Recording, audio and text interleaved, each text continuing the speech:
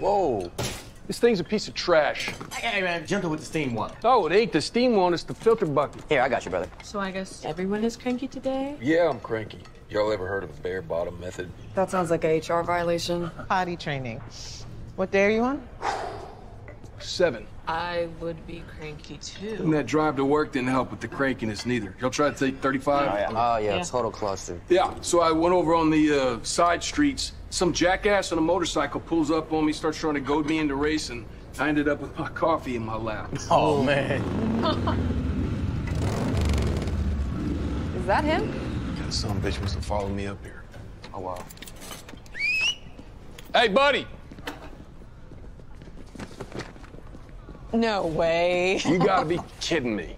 Yeah, the uh, weatherman said drizzle, so park my baby inside. You bought a crotch rocket cow? This isn't a crotch rocket. This is a classic cruising bike. I mean, look at those lines. Its design speaks to heritage, tradition. It's a connection to the past.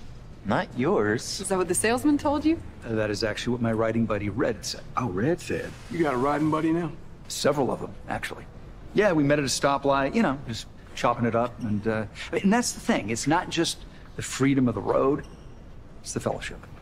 It, it's hard to explain if you haven't lived it. And how long have you had this? Since Thursday.